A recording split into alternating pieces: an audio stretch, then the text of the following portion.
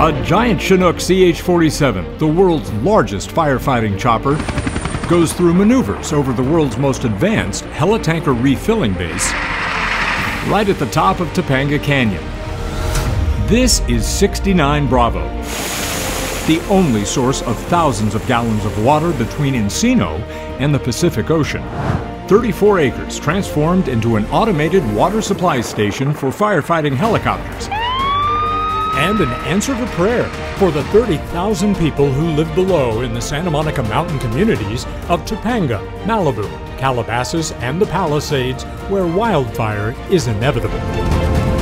It's a question of when. From the middle of Topanga Canyon, it could take an hour and a half for that fire to reach the coast.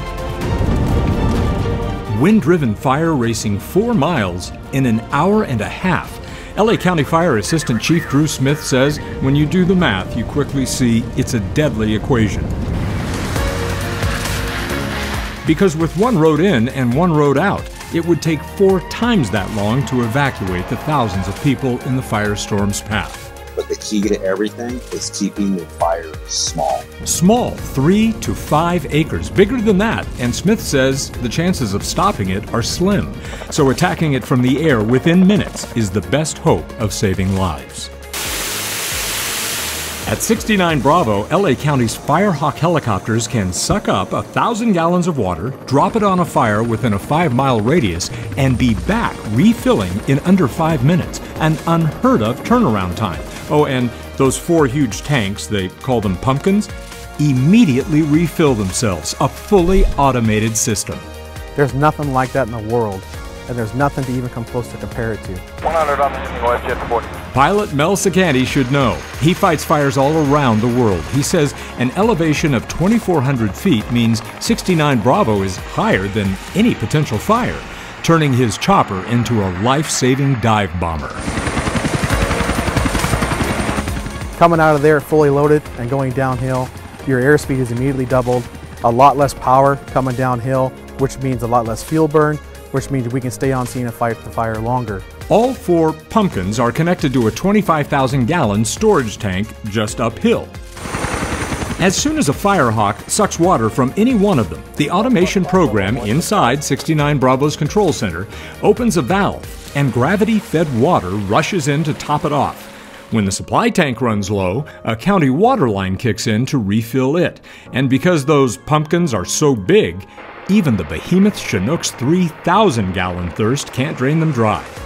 And even the smallest detail is covered. For example, when hovering to refill, helicopter rotors kick up debris that can damage an aircraft's engines and obscure a pilot's vision. To prevent that, at conventional refill sites, firefighters with water trucks are needed to soak the ground. But remember, 69 Bravo's designed to run without a human on the property. So, sprinklers, activated by an app on the pilot's cell phone. Being the fact that I can be 20 minutes out, pull up my iPhone, and turn on the sprinklers. I mean, you take all of the things that we worry about as aviators out of the equation. I don't need ground support equipment. I don't need somebody on the ground with a radio. It's a secure facility. It can be done there at night. That's a first in the world. There's not that set up anywhere else, anywhere. By now, you may be wondering who did all this? Well, the landowner says he's just a private citizen who'd like to keep it that way. What may be more amazing than what he's created, though, is the fact that LA County Supervisor Sheila Kuehl and County Fire Chief Daryl Osby immediately saw 69 Bravo's value, and they struck an unbelievable deal for the county to buy it. Everything turnkey. The county's making seven annual payments totaling less than half the property's market value. Not just saving taxpayers money, but saving homes and lives. 100 on the west jet 40. And the county has already made more than half those payments, now fully invested, knowing that in 2024, 69 Bravo will become one of LA County Fire's most valuable assets. Second, of course, to its firefighters, who are as thankful as homeowners that they have a 50,000 gallon guardian angel watching over them.